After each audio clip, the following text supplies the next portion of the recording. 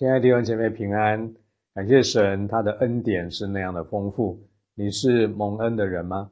你知道主为我们所付出的代价是多么的大，以至于我们能够得着救恩。如果我们很清楚知道我们所蒙的恩，那我们会怎么样回应他呢？你愿不愿意更多的愿意啊，把自己摆上来服侍他，来跟随他呢？那我们先来看今天的经文。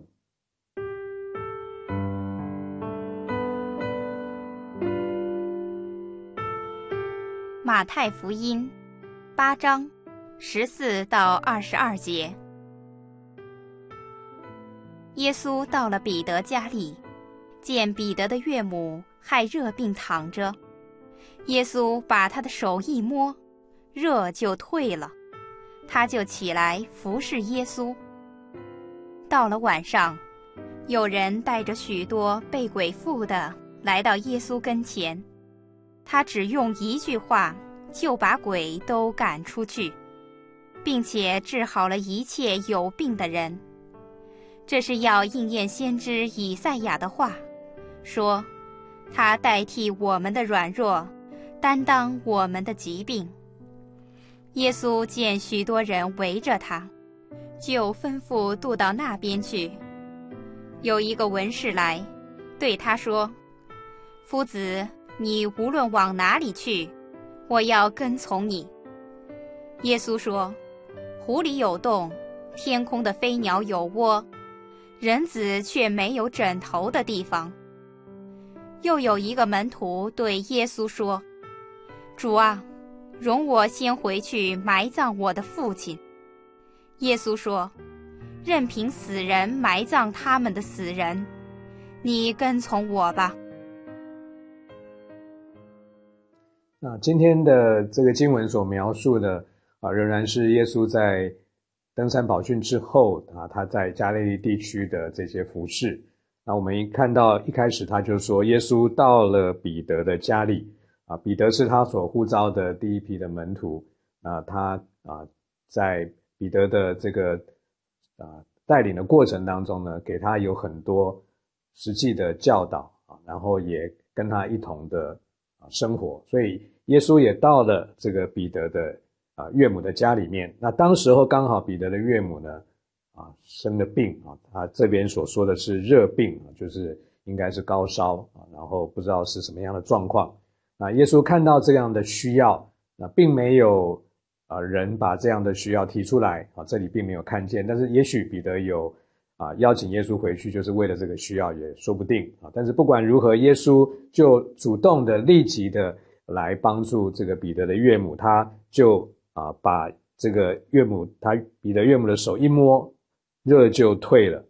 那很美的，我们在这边看到彼得的岳母一得医治，第一个回应就是起来服侍耶稣，他就好了啊。他不是需要有什么样的一个恢复啊疗养的过程。啊，他也不是要这个呃好了以后呢就做别的事情，他立刻就起来服侍耶稣，因为他也是主人啊，他也乐意的来侍奉。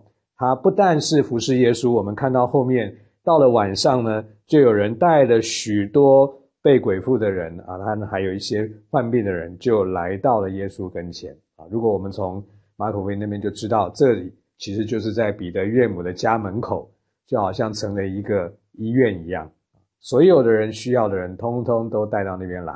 所以你看到彼得的岳母一得到医治，他就起来服侍耶稣，也服侍需要的人啊。因为你可以想见，这么多的人在那边，那耶稣医治他们，旁边要有帮手的，所以这个家庭就成为一个能够去服侍人、接待人的地方。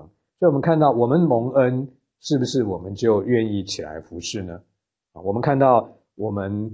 就是回应主的恩典，因为耶稣基督他是蛮有权柄、荣耀能力的主，他用一句话就可以把鬼赶出去，他也能够治好一切有病的人。耶稣有这么大的全能，可是在这边马太特别说，这是要应验先知以赛亚的话，说他代替我们的软弱，担当我们的疾病啊。如果我们去看一看以赛亚书五十三章那边所说的。因他所受的鞭伤，我们得医治；因他所受的刑罚，我们得平安。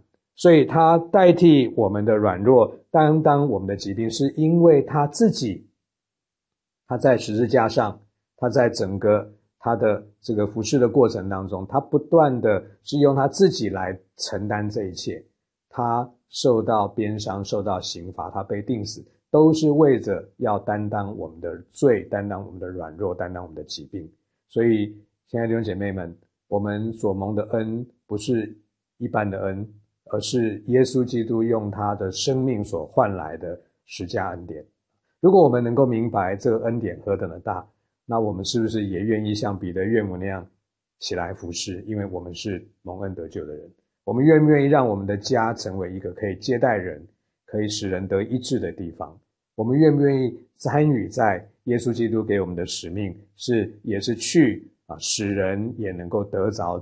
这样的一个救恩，脱离罪的捆绑，脱离黑暗的权势，并得着医治，这是我们的挑战。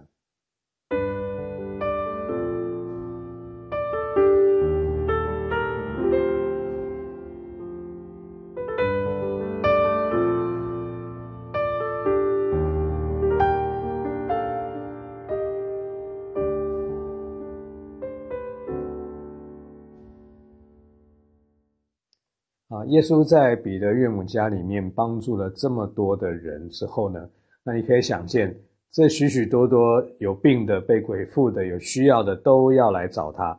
那他的反反应是什么呢？十八节说，耶稣见许多人围着他，就吩咐渡到那边去。我们看到啊，他并不是这个呃喜欢好像呃被群众来拥戴啊，或者是好像他就是。很盼望能够呃很有人气哈，然后呃得到很多很多的名声，不是的啊，在他侍奉的初期，他反而保持低调，因为他真正的使命不在这个地方，所以他就远离了人群。那他必须要在这个时候把那些真心要跟随他的，还有那些只是为了需要而来的，稍微做一些的区隔。所以我们接着就看到他挑战那些真正要跟随他做他门徒的。他就发出了这样的一个要求，所以有一个文士来对他说：“啊，夫子，你无论往哪里去，我要跟从你。”我想这个文士原原本可能是敌对的，但是他看到耶稣的权柄，看到耶稣所行的，他愿意来跟随耶稣是好事，所以他说：“呃，不管去哪里都要跟从。”可是他可能没有啊真正明白这个跟随耶稣的代价啊，他以为就是跟着耶稣到处到不同的地方去。呃，所谓旅行步道，然后呢，帮助很多的人，也很风光嘛。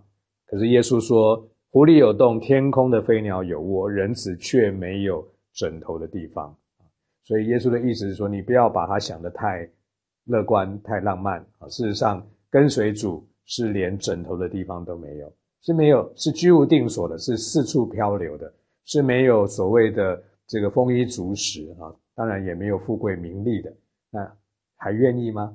啊，如果是这样的一个代价，愿不愿意付出？那这是一个做门徒的一个筛选。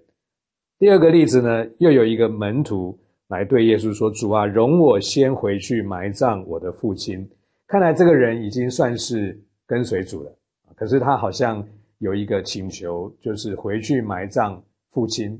这个请求看起来是很合理的啊，因为我们知道亲情很重要，而且他可能就是要处理家里的事之后，就要来跟随耶稣。没想到耶稣给他的回应啊，是好像很严厉的啊。耶稣说：“任凭死人埋葬他们的死人，你跟从我吧。”这个话乍看之下啊，很不近情理啊，好像不管他要做什么，你要跟随我，你不应该去做那些俗事。实际上，这个耶稣这句话的意思，我们要有正确的理解，因为当时的犹太人啊，其实过世二十四小时之内就要完成这个。安葬啊，后面当然有一些追悼，所以这个人他的状况呢，很显然可能是父亲还没有过世，他是用这个做借口，说他要回去处理这个事情。那耶稣就点出他的问题。